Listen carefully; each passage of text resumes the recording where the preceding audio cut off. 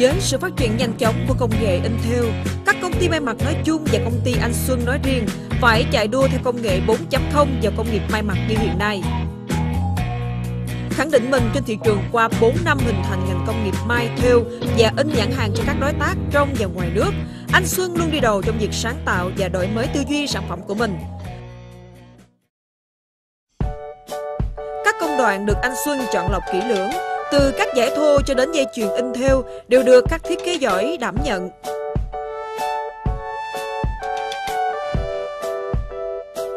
Việc đầu tư trang thiết bị luôn được anh Xuân đặt lên hàng đầu.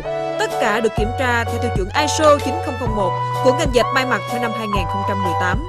Anh Xuân tiên phong trong ngành in thêu và luôn nhập các thiết bị thêu lập trình vi tính tiên tiến nhất cùng với chất liệu giải cao cấp để đảm bảo kịp tiến độ của những đơn hàng lớn từ các đối tác. Với công nghệ in lụa mới, anh Xuân luôn đảm bảo chất lượng sản phẩm đẹp với số lượng lớn trong thời gian sớm nhất. Anh Xuân không ngừng tìm kiếm các thiết kế mới nhằm đáp ứng nhu cầu của khách hàng trong và ngoài nước. Với đội ngũ thiết kế chuyên nghiệp và các nhân viên kỹ thuật may tay nghề cao, anh Xuân luôn luôn làm hài lòng những khách hàng khó tính.